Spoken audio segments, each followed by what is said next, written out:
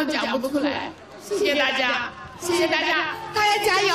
宋楚瑜的夫人陈万水，二零一二年一月最后一次力挺夫婿替他站台，舞台上宋楚瑜仍空出一只手护着老婆，间谍情深。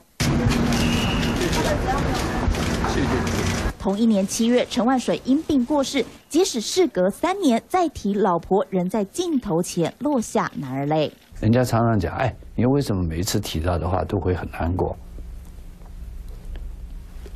感恩的心嘛。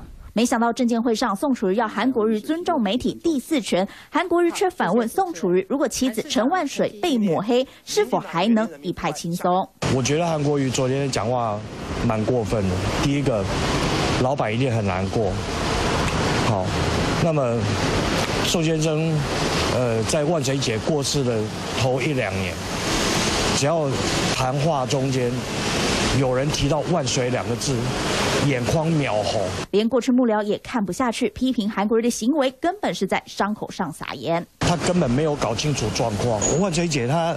呃，为什么一直她不但这种政治人物的分析做得很好，万水姐绝不会涉涉入政府政治呃政治事务的，或者是政府事务的，拿任何状任何东西，不论是人啊、钱啊、事啊。前外交官刘世杰也发文痛批韩国瑜为了回击网军，拿已是女性当挡箭牌，完全不顾宋楚瑜感受。网友更是齐声挞伐，认为韩国瑜没品没口德，想举例反击对手，却拿王者做文章，让人看不下去。